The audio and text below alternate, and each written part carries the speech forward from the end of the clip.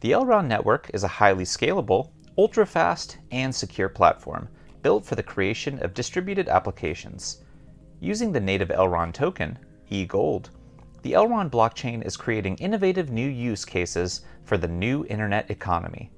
Since the network's main net launch in July 2020, the introduction of Elrond staking facilities and the Maiar application has brought about a huge wave of adoption to the platform. But what is Elrond? And how does Elrond work? Well, we're here to discuss that.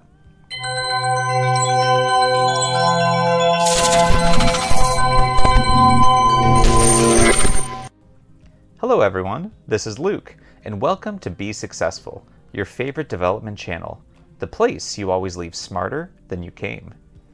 So, what is Elrond? Elrond is a super fast, highly secure, and scalable blockchain that helps businesses and individuals benefit from the new Web3 internet economy.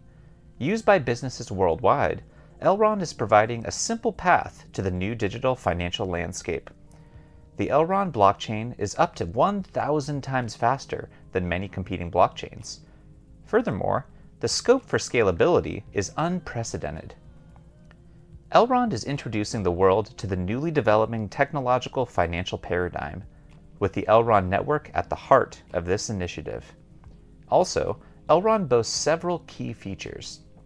These include staking, governance, smart contracts, validator rewards, and cheap transactions.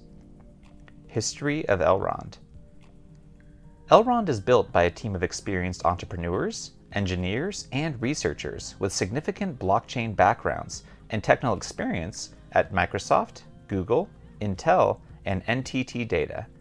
The team includes two PhDs in CS and AI, multiple math, CS, and AI Olympiad champions, and a former member of the NEM core team. Elrond was created and launched in late 2017 by Lucian Todea and the Mincu brothers. Beniamin and Lucian Mincu also co-founded initial coin offering information aggregator ICO Market Data and digital asset investment fund MetaChain Capital. The Elrond team organized a private investment round that brought in nearly $2 million to the project. In July 2020, Elrond held an ICO that raised over $3.2 million by selling 25% of its total supply. Initially, Elrond traded under the name ERD, while the ticker changed to eGold once the main net was released.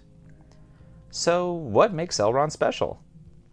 Elrond is unique through its use of sharding in the form of adaptive state sharding, which splits the network into smaller fractions so that nodes can validate transactions and network operations by resolving one partition at a time. This ensures that the network can process thousands of transactions per second while only requiring low fees. The Elrond project wants to create a new digital economy where decentralization and scalability are integral characteristics of its blockchain infrastructure. Elrond allows users to create new assets, decentralize applications, and make transactions at low cost. The project is also unique as it supports enterprise-grade dApps while enabling scaling and offering three programming languages to work with. Between the platform's launch and September of 2020, Elrond used a native currency known simply as Elrond with the symbol ERD. Beginning in September 2020, a conversion occurred that resulted in ERD holders receiving one eGold for every 1,000 ERD they owned. While ERD had no maximum supply, the supply of eGold was capped at 31,450,925 coins. Nowadays, the Elrond ecosystem incorporates well over 100 projects, including stablecoins, wallets, validators, and payment providers. Elrond is also integrated with decentralized finance projects, such as Orion and Reef, while other projects building on the blockchain include UTU and ARPA. eGold has a limited supply starting at 20 million tokens, and the total supply is around 31,450,926. And this number will technically decrease as the number of processed transactions increases, since a portion of the fee of every transaction is burned. Elrond price is subject to frequent price changes that are mostly driven by the volatility of the cryptocurrency market.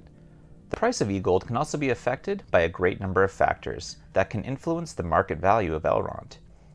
As well as traditional factors such as market sentiment, the flow of assets on exchanges, and the economy in general, the price of eGold is also influenced by the number of tokens being staked and the balance between protocol fees and inflation used to pay staking rewards.